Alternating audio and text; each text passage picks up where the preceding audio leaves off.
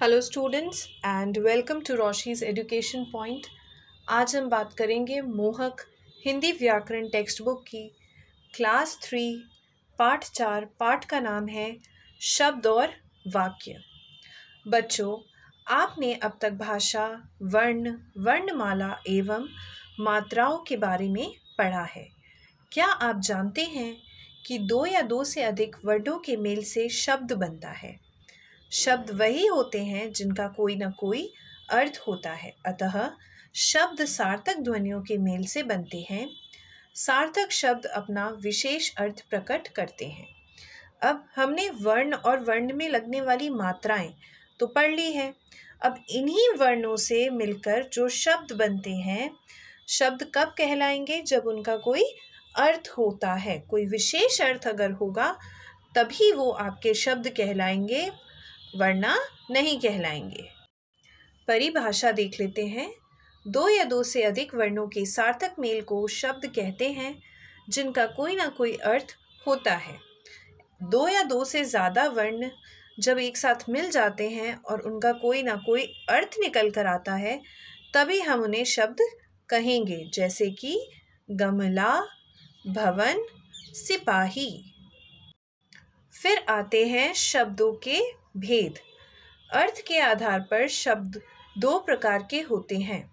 अगर हम अर्थ के आधार पर देखेंगे तो शब्द कितने प्रकार के होते हैं? दो। एक को बोला जाता है सार्थक शब्द और एक को बोला जाता है निरर्थक शब्द। सार्थक शब्द क्या होते हैं? वर्णों के मेल से बने ऐसे शब्द जिनका कोई ना कोई विशेष अर्थ होता है, सार्थक शब्द कहलाते हैं। अब वर्णों के मेल से ऐसे शब्द जो बन रहे हैं, जिनका विशेष अर्थ निकल कर आ रहा है, उन्हीं को हमने क्या बोल दिया है? सार्थक शब्द बोल दिया है, जैसे कि अंगूर, हाथी, साइकिल। इनसे विशेष अर्थ का बोध होता है, अतः ये सार्थक शब्द होते हैं। विशेष हम किसी एक चीज़ के बारे में बात करें, इनका कोई विशेष अर्थ निकल कर आए, तभी हम इन्हें सार्थक शब्द बोलेंगे। फिर आते हैं निरर्थक शब्द।